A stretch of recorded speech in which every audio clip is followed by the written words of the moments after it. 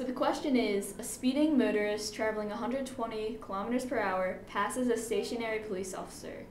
The officer immediately begins pursuit at a constant acceleration of 10 kilometers per hour per second. Note the mixed units. How much time will it take for the police officer to reach the speeder, assuming that the speeder maintains a constant speed? How fast will the police officer be traveling at this time? So the first step you do is you convert the kilometers per hour and the kilometers per hour per second into meters per second and meters per second per second.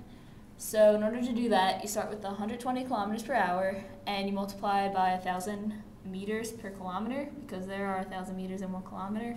So that leaves you with 120,000 meters per hour. And then the next step you want to do is convert hours to seconds. And since there are 3,600 seconds in one hour, you multiply by 1 over 3600 to cross out the hours to leave you with a velocity of 33.33 meters per second. So the next step to find the acceleration is you take your initial 10 kilometers per hour per second, you multiply by 1,000 meters per kilometer because there's 1,000 meters in a kilometer, and that leaves you with 10,000 meters per second. And then just like before, you multiply um, by 1 over 3600 in order to cancel out the hours and leave you with seconds, and that leaves you with this. And so in order to see what's going on here, I have a picture. So the motorcycle has the velocity of 33.33 meters per second, and right when it reaches the police officer right here, the police officer begins to accelerate at a rate of 2.778 meters per second squared. And what you're trying to find is how long will it take for the police officer to reach the speeder. So in order to do that, you're looking for the time. So you use the distance formula, x equals xi plus vit plus 1 half at squared.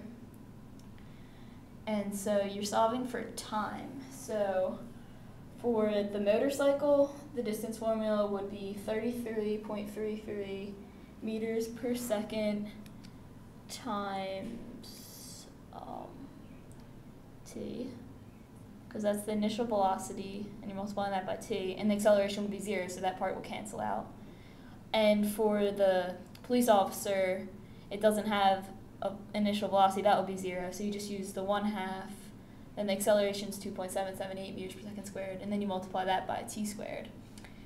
And then in order to solve for t, you set these two equations equal to each other, which is over here. So you have 33 meters per second times t equals 1 half times 2.778 meters per second squared times t squared. And then in order to solve for t, you could just subtract 33 meters per second t from this which would leave you with 1.389 meters per second squared t squared minus 33 meters per second times t equals 0.